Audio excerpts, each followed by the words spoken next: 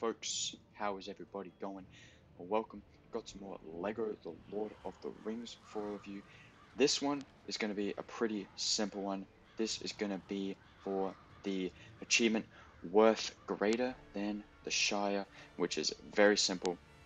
Um, and it just requires you to dress yourself fully in treasure items and um, mithril items. Now, um, Basically, um, what I am going to recommend is you've completed a majority of the free play because this is going to get you a bunch of treasure items. Now you can see here, we're pulling out the treasure trove and we're going to start by selecting a hat.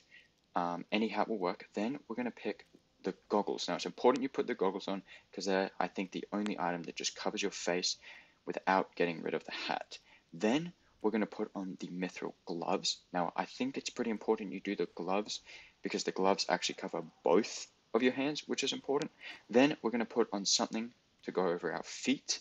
Then we're going to put on a piece of armor, and that's going to cover our chest. Then there you go, worth greater than the Shire. So basically, that was it. Pretty simple. You can see our guy dressed up looking snazzy. But um, anyways, yeah. So as a quick rundown, make sure you've got a hat equipped, um, some goggles to go on your face, gloves to cover both hands, um, an armor plate for your chest, as well as something to go on your feet, um, whether that be some sort of shoes or boots or whatever.